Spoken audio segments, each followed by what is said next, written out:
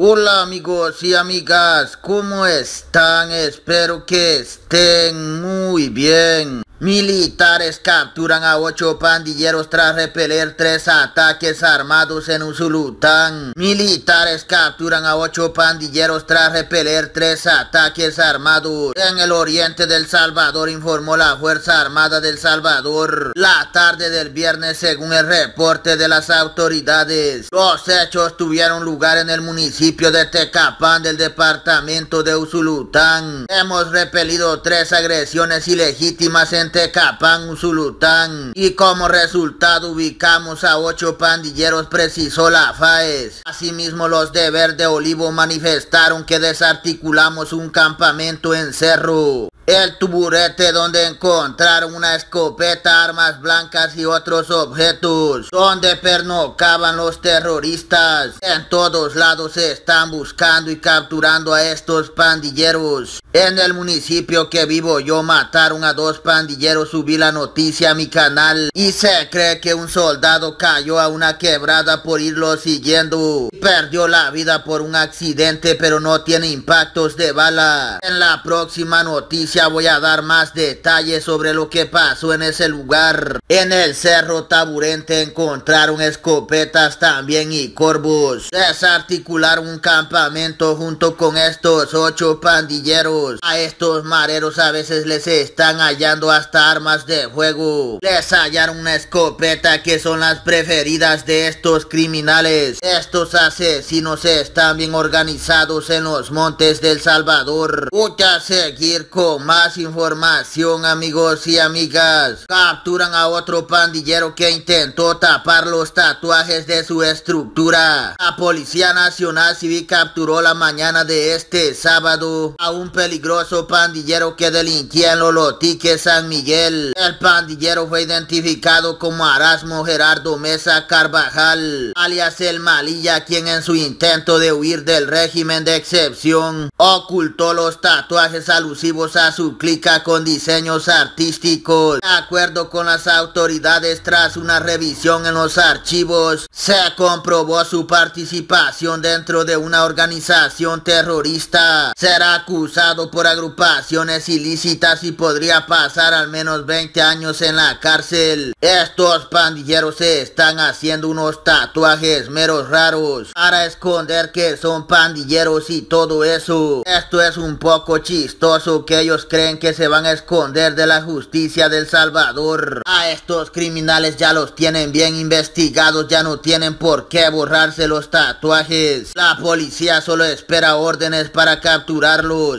Voy a seguir con más información de lo que está pasando en El Salvador. Por miedo a la cárcel, pandilleros que atemorizaban a ciudadanos trataron de huir de policías por los techos de las viviendas. Los pandilleros que atemorizaban a ciudadanos trataron de huir de agentes de la Policía Nacional Civil por los techos de las viviendas por miedo de ir a prisión durante décadas. El procedimiento tuvo lugar en el municipio de Apopa del departamento de San Salvador como parte de las acciones operativas contra los pandilleros. Se trata de Edgar Manuel Funes alias Chele buscado con una orden judicial por homicidio agravado y Jesús Wilfredo Espinosa alias Demo. Capturamos a dos terroristas que intentaron burlar la justicia subiéndose a los techos de las casas para huir de la guerra contra pandillas fueron sorprendidos cuando estaban reunidos en una casa destroyer. Asimismo, autoridades precisaron que ambos serán procesados por organizaciones terroristas, un delito cuya pena es de hasta 30 años, pero a Funes se le agregaron 50 más por homicidio. Estos pandilleros tienen sus razones para salir huyendo hasta por los techos. A veces le han quitado la vida a personas y no quieren ir a pagar 30 años a la